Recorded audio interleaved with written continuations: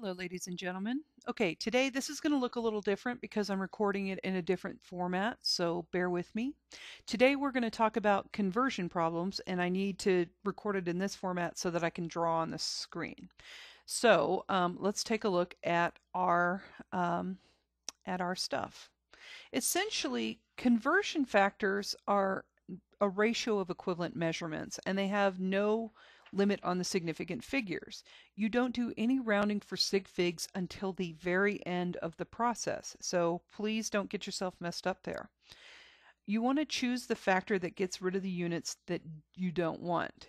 And so conversion factors are essentially just unique ways of writing the number 1. So for example, one, one meter over 100 centimeters. Well, we know that there's 100 centimeters in a meter and there's 100 centimeters over here. So 100 centimeters over 100 centimeters is just equal to 1. In the same system, they're defined quantities and they have unlimited sig figs, so just remember that. Equivalent statements always have this relationship. Big numbers of small units equals small numbers of big units. For example, there's 1,000 millimeters in 100 centimeters. So in this case, we can write 100 centimeters here and 100 centimeters here because 1 meter equals 100 centimeters. So this is still a factor of 1. So that should give you an idea of kind of how we're doing the conversions. So I want you to write conversion factors for the following, and I'm going to walk this walk you through this. Kilograms to grams. So we know that one kilogram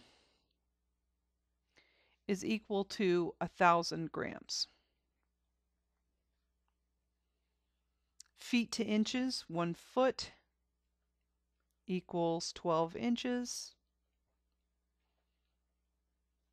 And miles to kilometers, you probably don't know this one off the top of your head, but one mile equals 1.61 kilometers. And an easy way for me to remember that one is that 55 miles per hour is equal to 88 kilometers per hour. And so you're able to take 88 divided by 55, and that gives you a factor of 1.61. Okay, again, remember, conversion factors are called that because they allow us to convert units, and it's really just multiplying by 1 in a creative way. It's your job to choose the factor that gets rid of the units that you don't want. Dimensional analysis is using the units to solve the problems. You work on the units first and then worry about the numbers second. And that's where chemistry really gets involved. And this is where people trip over themselves if they're not careful. If the units of your answer are right, chances are that you did the math right as far as the numbers are concerned. So they'll follow as long as you got the units right. In order to perform dimensional analysis, you must know the conversion factors first. Either they'll be common ones or I will have given them to you. If it has a prefix such as nano, kilo, etc., get rid of it with the conversion factor in one step. To add a prefix, use a conversion factor in one step.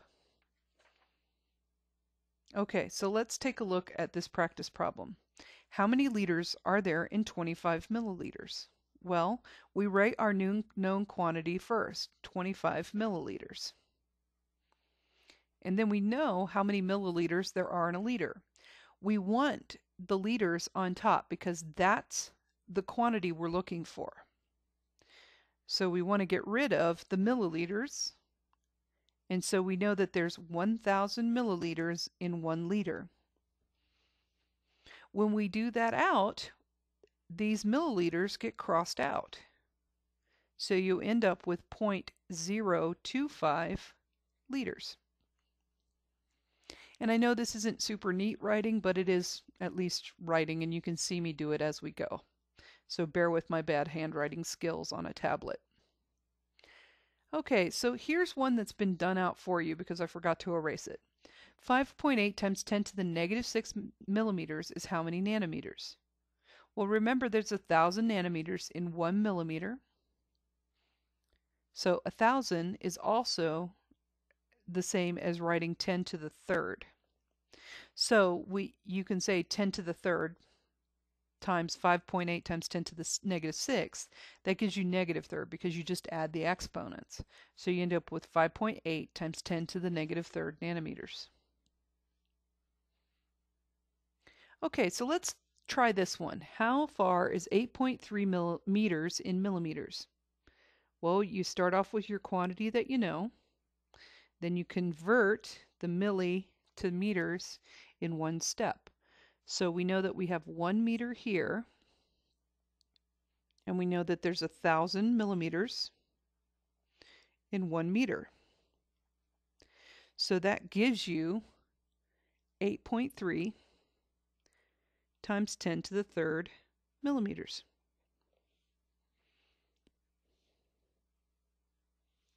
How heavy is 1.56 times 10 to the 10th micrograms in kilograms?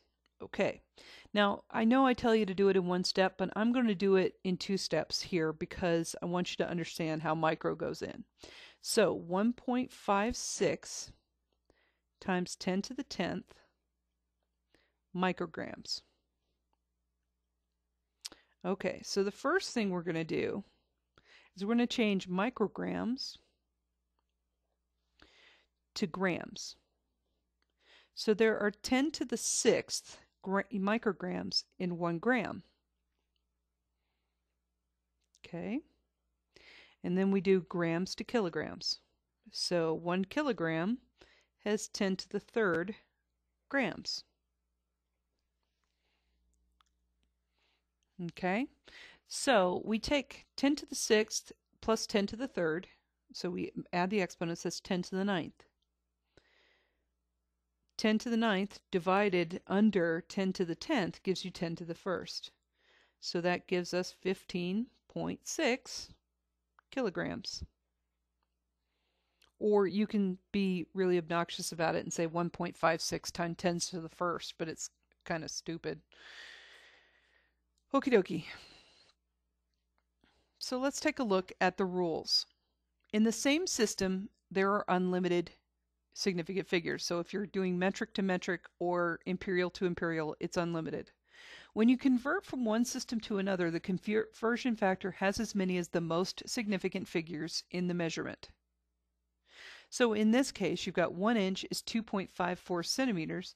So in this example, you would have one significant figure because one inch equals 2.54 it's actually 543 centimeters, well, your answer has to be in one sig fig.